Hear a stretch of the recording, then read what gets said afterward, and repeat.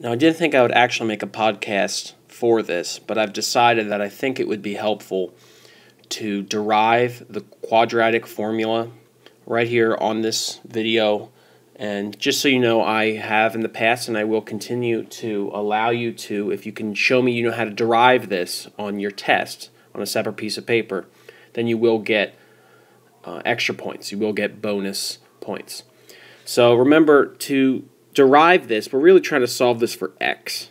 And our goal will be to use the square root property, but we can't use the square root property until we complete the square. And we can see that if you're given any quadratic equation here, doesn't matter what a is, what b is, what c is, what you have up here is the general form. So now, if we can just solve this for x using a, b, and c, then it doesn't matter what A, B, and C are, we'll have a formula that we can plug that in. So I'm going to complete the square, and I'll first start by subtracting over the C. So I'll have ax squared plus bx equal to the opposite of c. And now I'm going to divide both sides by a, because I need to get rid of the number in front of the x squared. So I'm going to have x squared plus b over a x equal to the opposite of C all over A.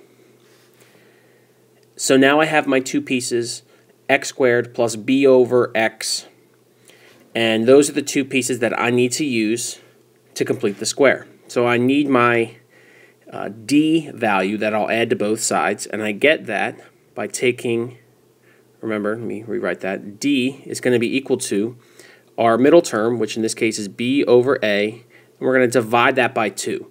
And hopefully you can see that dividing by 2 is the same as multiplying by 1 half. And remember, for the d value, we need to square it. So the d value that we're going to be adding to both sides is going to be, well, this will be b over 2a squared. So that d value is going to be b squared all over 4a squared. So that's what I need to add to both sides of this equation.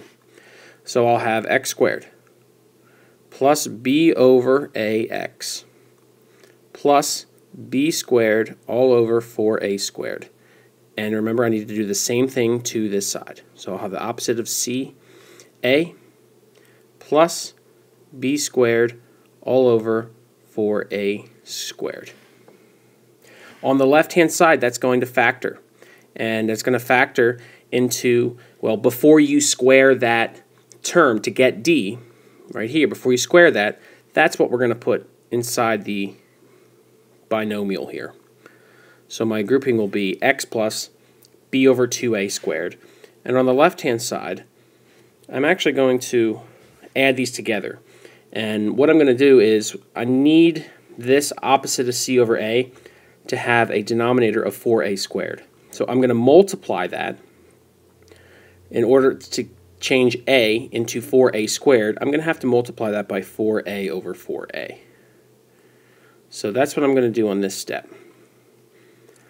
And when I do that, I will get minus 4ac plus b squared all over 4a squared. So on that step, I changed this value right here opposite of c over a, I changed it to be, uh, I multiplied it by 4a over 4a. So it had a denominator of 4a squared. And then my numerator, you can see, is 4, the opposite of 4ac, because this is minus c times 4a. This is minus 4ac, and it'll have a denominator of 4a squared. So since it'll have the same denominator, I can add the numerator, opposite of 4ac, and add it to this numerator right here, which is b squared, and we can write it over the same denominator. All right, so now I'm going to rewrite this actually up top here. So we'll have x plus b over 2a squared equal to the opposite, and I'm actually going to write this as b squared minus 4ac. Maybe that's good to do in this step. Just rearrange it so the b squared is first. Now I can take the square root of both sides because I have the square root property.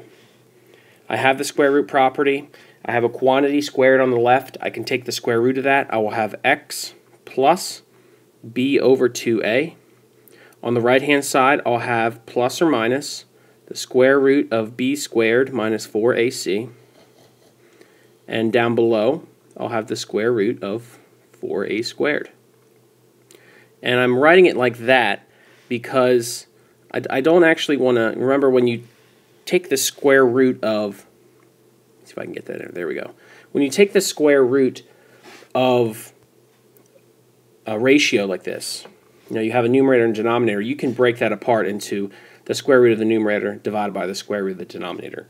That's going to help us because the numerator will stay the same. So I'm going to keep this side the same.